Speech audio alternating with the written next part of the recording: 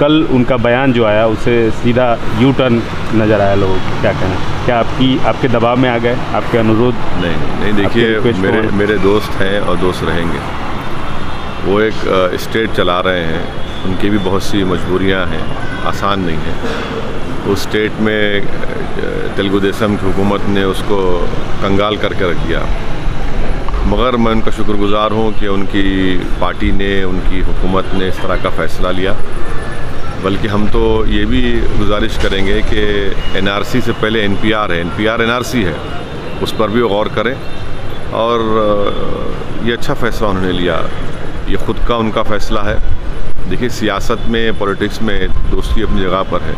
मगर जब एक, एक शख्स स्टेट चला रहा है तो वो उनका एक पॉलिसी डिसीज़न होता है उसको हमको समझना पड़ेगा। हैदराबाद में आपके ज़्यादातर सीटें हैं। हैदराबाद में जो जीएचएमसी एरिया है उसमें एनपीआर शुरू करने का प्रोसेस तकरीबन शुरू हो गया है।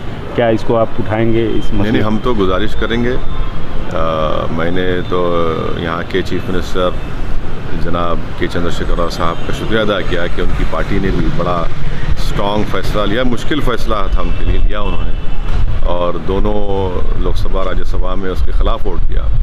हम भी उनसे रिक्वेस्ट करेंगे गुजारिश करेंगे कि आप भी इस पर गौर करिए एनआरसी और एनपीआर के ऊपर। सर एक बेंगलोर से सांसद हैं तेजस्वी सूर्या। उन्होंने बयान दिया है कि ये जो प्रोटेस्ट हो रहा है ये पंचर वालाज और इस तरह का उन्होंने बयान दिया कि उन लोगों का प्रोटेस्ट नहीं इनकी ये ये इनकी जो जहनीत है वो छोटी जहनीत के हामिल आदमी है। अगर कोई पंचर वाला है तो बुरी बात क्या है? भाई वो धूप, बारिश, सर्दी में बैठ कर ही तो जब टायर पंचर हो आता है तो टायर को सही करता है। हो सकता है कि वो करोड़पति हैं, उनको पंचर वाले का गम क्या मालूम?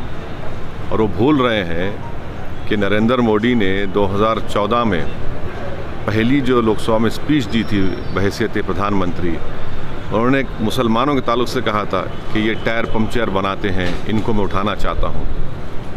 तो उठेंगे मुसलमान, टायर पंचर बनाना कोई मायूब बात नहीं है। यकीन इन ताला बीजेपी के टायर में पंचर पड़ेगा। उनकी हवा उतर रही है, उतर जाएगी।